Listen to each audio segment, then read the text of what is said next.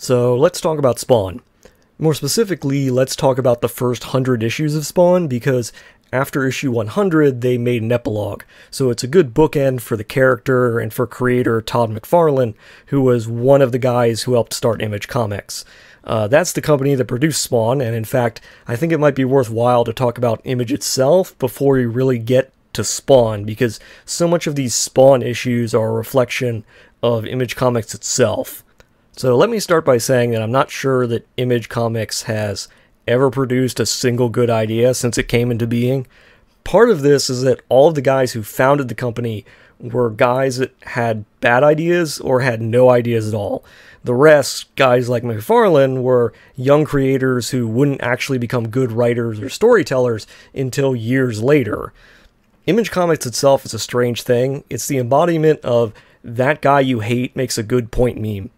See, the creators of Image Comics felt that they were being underappreciated and mistreated at Marvel and DC, which they were. Marvel and DC have a long history of mistreating their writers and artists, a practice that really hasn't changed to this day. The problem is, as I said before, that the guys who founded Image were not the guys to strike a blow for everybody. They were the absolute worst people to do this, both because many of them were terrible people with terrible ideas, but also because many of them were also bitter, angry guys with an axe to grind, and it comes off in all of their comics. In fact, an entire issue of Spawn is dedicated to that, and we're going to get to that. So, knowing this, an obvious question comes up how did characters like Spawn make it to 100 issues? The answer, I think, lies in the world in which Image Comics was created. Make no mistake, Image Comics could not have been created before or after the boom period of the 90s. The market was horribly saturated with every terrible idea possible, and the rising tide sort of lifted all boats. Simply put, the same market that allowed Wolverine and Deadpool to suck up so many comics allowed things like Image Comics to stay afloat. Now, some may think that I'm being overly harsh by saying that, but as we'll get into, Spawn is certainly not interesting or creative enough to exist on its own. But before we get to that, we need to discuss the elephant in the room, which is is Spawn a ripoff? Now you might think, well, obviously not, because he's existed for this long and he sort of has his own look. And the courts agreed with this, because yes, there were courts involved. So here's the thing after Spawn launched, it became very obvious that Spawn was a fairly big ripoff of other characters, namely Batman and the Punisher. Uh, they would be the first of many characters McFarlane would rip off during Spawn's first 100 issues, but we're not there yet. Anyway, the courts found that Spawn was unique enough that he wasn't a ripoff, and so he was owned by McFarlane and Image. So here's where I bring up the point of these were not the people to strike a blow for creative freedom. Back up again. McFarlane dedicates a full issue to the fact that he won his court case. He depicts all of Marvel and DC's major heroes as being in hell, talking about them as broken figures enslaved by evil masters who corrupted them. It's uninteresting and it's insufferable. It's the comic equivalent of those diss tracks that musicians and bands with no ideas write the ones that are all about industry drama that literally no one can relate to or has any interest in. Now, if you think listening to McFarlane whine about how everyone else destroys their creations, how they're all soulless and evil, is boring and annoying, congratulations, you're right. Part of it might be that McFarlane only won because he was ripping off so many different things that he didn't rip off any one thing completely, and we're going to get to that. Spawn as a character is what happens when you were a teenager and were scribbling in your notebook. He was never meant to be a character because he's not that deep. Okay, so I've avoided talking about Spawn himself for long enough. Who is Spawn as a character? Well, he's a former Dirty Jobs assassin figure who decided that he had enough and who was killed by his boss as a result. He then makes a deal with the devil to see his wife again, and the devil brings him back to life five years later, intending to break Spawn's will so that he'll be a general in Hell's army when it marches against heaven. And you might think that I'm making all of this sound very interesting, and I assure you it isn't. And the reason that it isn't is because it's all overloaded with nonsense, and it makes it equal parts unappealing and extremely repetitive. For example, Early on, one of the revelations is that Spawn, a black man, was brought back as a white man. That's the level of pathos we're dealing with here. But don't worry, because that's quickly forgotten about and doesn't come up again. But the story itself goes like this Spawn comes back to life, finds out that his wife has moved on and has married his best friend, and they've had a kid together because he's been gone for five years. Now, here's a great way to demonstrate how immature and badly written this comic is. We have a setup that works. Spawn has come back from the dead, and he's realized that the two most important people in his life have now gotten together and have a happy life together. So, how do you think Spawn actually responds? If you picked break into the house, violently grab his wife, and scream at her like an insane person, you're right. No, I'm serious. He literally breaks into their home in the dark, grabs his wife, and starts ranting like a maniac about how she's betrayed him by marrying his best friend. Keep in mind, this is a woman he supposedly still loves. Imagine loving someone and thinking that the best way to engage with them is to surprise them in the dark while dressed like a superhero and ranting like a maniac. This begins the first of many occasions where Spawn storms off to Brood like he's a child.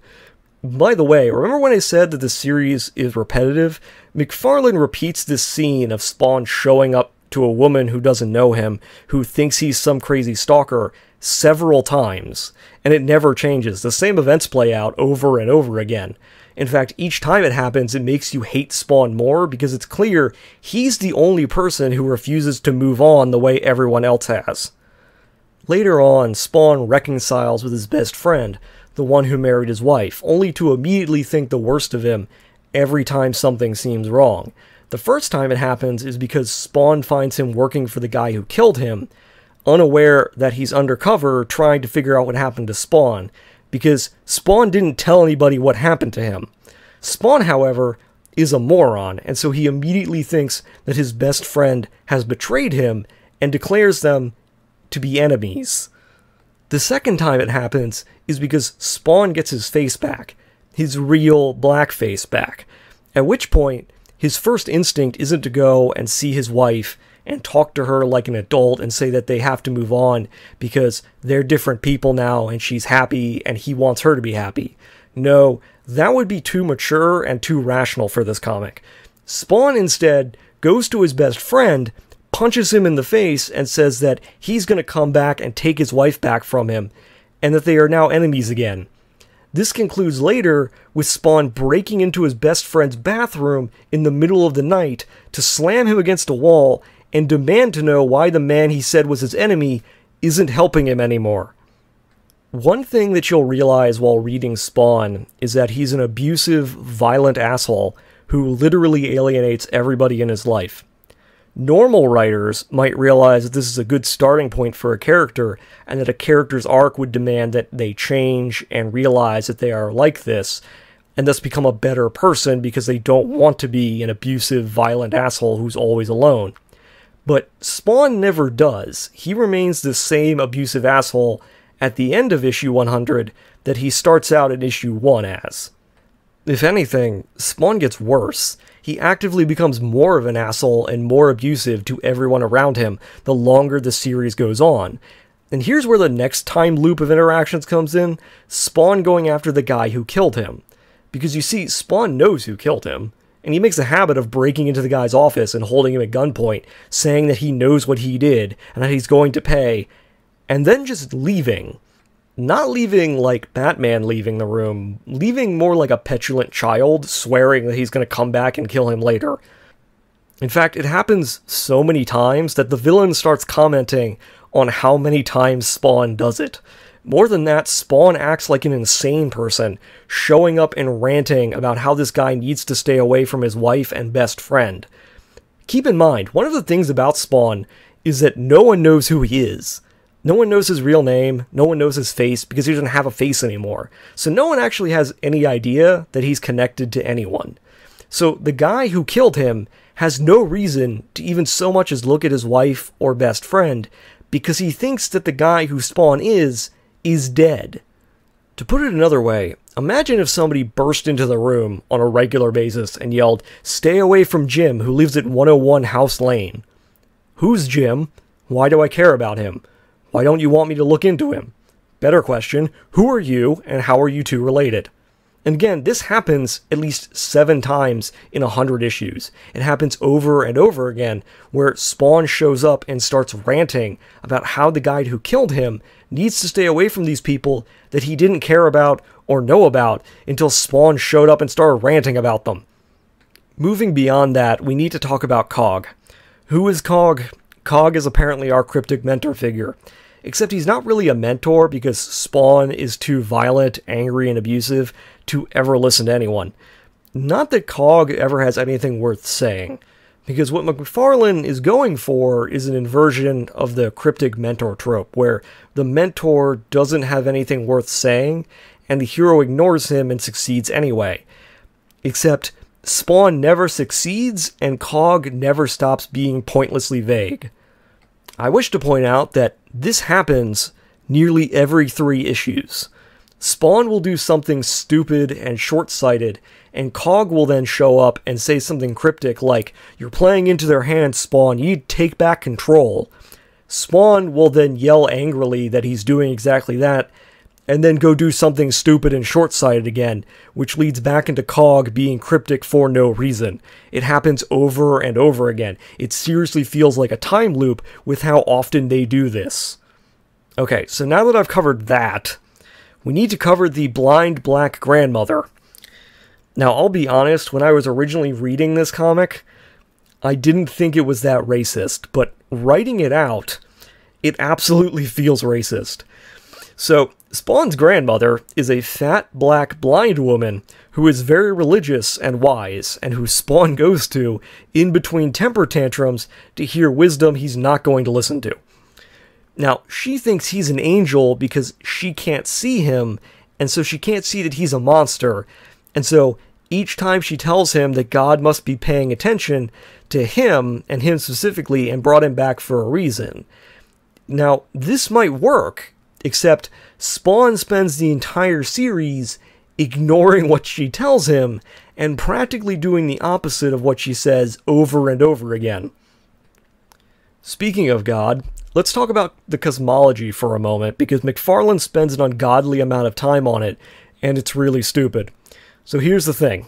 I might really dislike Neil Gaiman's comics because they keep getting weirdly grafted onto the DC universe where they don't belong or fit. But Gaiman's purpose for writing is to explain weird, esoteric ideas and concepts, which means even when his worst ideas get a lot of airtime, he's given them lots of thought. McFarlane, however, didn't do nearly so much work, and I need to mention all this because what I'm going to say might seem like it's really deep, and it's not. I want to stress that it's not nearly as deep as I'm going to make it sound. In the image universe, morality does not matter at all. You were a saint, doesn't matter. You were a demented serial killer and child rapist, doesn't matter. There is a God and there is a devil, but where you end up has nothing to do with what you do on Earth. Instead, souls are divided up like draft picks, with the intent being that neither side gets more or better souls than the other. And because this is so woefully juvenile, yes, they do go out of their way to say that Attila the Hun and Adolf Hitler are in heaven, specifically because heaven doesn't want them to be in hell. Now, a smart person might have realized that if you were going to create a world where heaven and hell were taking souls based on a draft system, that they could use Earth to craft the kinds of people that they'd want. But this concept is never thought of and is instead used to be extremely juvenile and cruel for the sake of being cruel. McFarlane goes out of his way multiple times to show the reader that actually God doesn't care and never did, and you're probably going to be tortured in hell forever, and you probably did nothing to deserve it because God is an uncaring, aloof figure who is only concerned with fighting the devil, without really explaining why he cares so much about this. At every turn, the writing reveals that none of this is very thought out. It's just a way for Spawn to angst more about how unfair everything is, because you see, it's all about Spawn at all times. Now, you'll notice that I haven't really talked a lot about Spawn himself and what he's up to, and that's because beyond the time loops, he really doesn't do anything except brood like a child. Seriously. Now, the comic reviewer Linkara refers to Frank Miller's Batman as Crazy Steve, the insane and violent homeless man who somehow steals all of Batman's gear. But that name might as well be assigned to Spawn because he is literally a crazy homeless man. You see, Spawn's lair is literally in the alleyways, and he lives among the homeless. I should point out that this leads to lots of really stupid pontificating about how homeless people are all secretly wise sages who the world doesn't understand. And yes, it gets extremely preachy at points. Look, I'm all for treating the homeless better, but the idea that the homeless are all extremely wise sages who have secret wisdom, if only we would listen to the madness, is itself madness, and again, extremely juvenile and childish. It reeks of they're different, so clearly they must be geniuses. There's another reason why I haven't really talked much about Spawn, and that's because Spawn himself is very uneven. He doesn't really have a set character or a set of powers or even really any kind of set structure. Earlier I said that Spawn was basically ripping off everything, and I meant that. Spawn's powers and his actions are defined mostly by whatever McFarlane thought was cool at the time. And this is quite literal. The first thing that Spawn does is get a bunch of really large guns and swears to clean up the world of filth. And he essentially becomes the Punisher for a while. Then he becomes Batman and he starts acting as some kind of detective, large hood and all. He, he starts striking from the shadows and digging up secret information. And then he becomes the Ghost Rider for like five issues, penance, stare, and all. Like, he uses it exactly once, and then he just never uses it again. Going further than that, he becomes the Spectre, killing evildoers in ironic ways to punish them for their sins. And that also only lasts a few issues. Beyond that, Spawn's abilities are like super inconsistent. His powers are almost always entirely plot dependent. Like one comic, he's remaking his body out of bugs and rats and snakes, and the next, he's somehow able to cure his best friend's brain tumor with his magical healing powers that he somehow has and doesn't know about.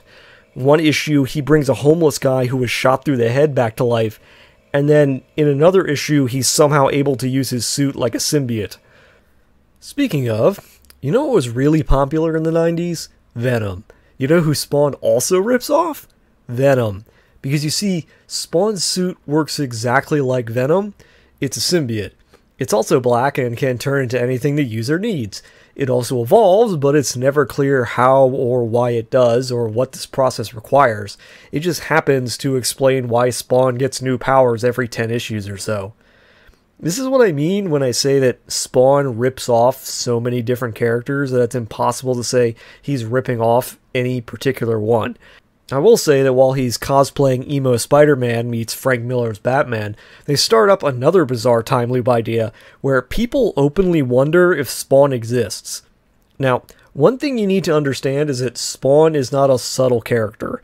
He's not Batman. He's more like Superman. He cuts large swaths of destruction across the city he's in. He burned Spawn Lives in big, bold green flames on a wall, he literally killed a child molester and put his name on the guy and hung the guy's corpse in the middle of the police station. And yet, people continue to ask if he exists. Characters who have met Spawn ask whether or not he exists. Literally, there are characters who have had conversations with him who will randomly ask each other, You think he's real? Which is baffling because imagine if somebody looked at you and went, You think birds are real? And we're completely serious. Now, actually, imagine if somebody asked you that while you were running an aviary, because that's how weird it is, and it's played completely straight without any jokes whatsoever. Now, I wish to point out that I've written like 3,000 words so far, and I have yet to say anything good about Spawn. So, the question becomes is there anything good in the first 100 issues? And yes, there is, uh, there's about three issues towards the end that are good. The plot's pretty simple. It's a big evil god thing that is going to wake up and destroy the world, and heaven will invade to stop it, and hell will use that as an excuse to then start the end times. And what's sad is that this shows what Spawn should have been all along a character who exists between heaven and hell, who fights all the things that would be used as an excuse for hell to start the final days it's actually a very good few issues. Although, uh, during the middle of it, Spawn becomes one with the Earth, who apparently is its own force separate from Heaven and Hell, because Spawn is now Swamp Thing and it communes with the Green. Yeah, Spawn Thing rips off Swamp Thing too. But anyway, Spawn is a mess of a series. Does at least end well? No. In fact, the ending might as well be the biggest slap in the face that you can imagine, despite everything that I've already said. You see, the series is not paced very well, and when I say that, the last few issues are good, I mean that they're so close to the end that Spawn only has enough time to wrap the entire plot up in like two issues. Like, Spawn tries to set up, depict, and then resolve his final battle with the devil in like the last two issues. That's not a joke. Like, he quite literally goes to hell, kills the devil, and then somebody else who isn't named shows up and is like, okay, you can be king of hell now. And Spawn just goes, no thanks, and leaves. And that's it. That's the end. There's no satisfying resolution. There's no real triumph. He just shows up, kills the devil, and leaves like he could have done this at any time. And you know what? After like sitting through a hundred issues of this garbage, I was just kind of happy to be done with it. Like, you know what? Thank God it's over. Yeah, it was rushed, and it took two issues to solve all the problems. But you know what? It's over. Like, there's even a little, like, look how much Spawn has changed section at the end of the 100th issue that shows all his little suit changes as he becomes more like various other comic characters over the 100 issues. And I was so utterly exhausted by all of this that I just felt some kind of relief. Like this long nightmare of trying to figure out how this all came to be and kept going was over. And uh, and then I read the epilogue, and I'm not certain I've ever ever read a comic that made me so angry so quickly before without having some kind of like offensive like content in it. So like here's the thing, the epilogue is nothing but everything that I've already talked about distilled into a single issue.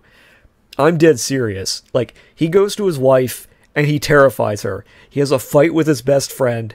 He goes and finds the guy who killed him and threatens him again, and then just decides to kill him with no fanfare. And then the moment that kind of pushed me over the edge and pissed me off to no end occurs. So, Spawn goes to the blind old woman again, who is his grandmother, and he's like, Actually, your faith is a lie, your God doesn't care, you're an idiot and a fool. And he starts like yelling at her and berating her and tells her, in no uncertain terms, that everything she believes, her entire faith, and everything that makes up who she is, is a lie and that she's being played and that she's probably going to hell. And he's like, You're worthless and weak, and you would be better off if you renounced God because God doesn't care about you. And if this sounds like the kind of thing that every stupid asshole in high school thought was edgy, you're not wrong. What makes it so very infuriating is that it becomes unclear whether this is meant to be in universe or if this is McFarlane venting his spleen about something. Like, there's other moments in the first hundred issues like this. Like earlier, I mentioned the ugly issue where he talks about winning in court, but this is just kind of like stomping on the reader's face about how insufferable the character is.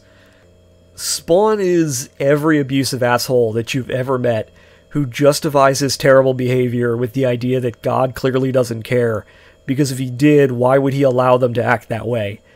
Like, if he can do it, clearly that means that God doesn't care about it, and it's just completely in your face jackassery. It just drives home that this character is utterly irredeemable, and shame on you for thinking he could be anything else. Oh, and uh, just for good measure, after he's done berating an old blind woman for believing in God and him and supporting him for the last hundred issues, Cog shows up to be needlessly obtuse and tells Spawn that he's on the wrong track. And the whole thing ends with Spawn saying that he doesn't care and storming off again like a child. If the 100 issue ended with a plop, like it was a turd in a toilet, then the epilogue is like somebody taking that turd and smashing it in your face. It's like McFarlane is rubbing in your face that Spawn is terrible and will always be terrible, and he's never going to be good. Like he's laughing at you for reading a hundred issues of this. He's laughing at you, the reader, who he clearly views with contempt. Like that's how all of this comes across. It comes across like he's a bitter, hateful person who actively thinks you're stupid for reading his comics. Now, I don't know if that's true. I don't know if that's what he thinks. I know that's what it feels like reading his epilogue. Like, it feels like somebody told him, hey, you set up a billion plot threads and none of them went anywhere, and we feel like we wasted our time. And McFarlane went, oh, yeah, fine then. I'll wrap them all up, and then just spit in their face. Like, in the beginning of this, I said that my theory was that Spawn only existed because the 90s speculation market allowed every bad idea to rise to the surface. I have no idea what keeps the character around today. Like, I can't say that I'm very interested either, having read the first hundred issues of this. Like, if I can convey nothing else to you, just remember this. If it has the Image Comics logo on it, just stay away from it, because they thought stuff like this was worth publishing.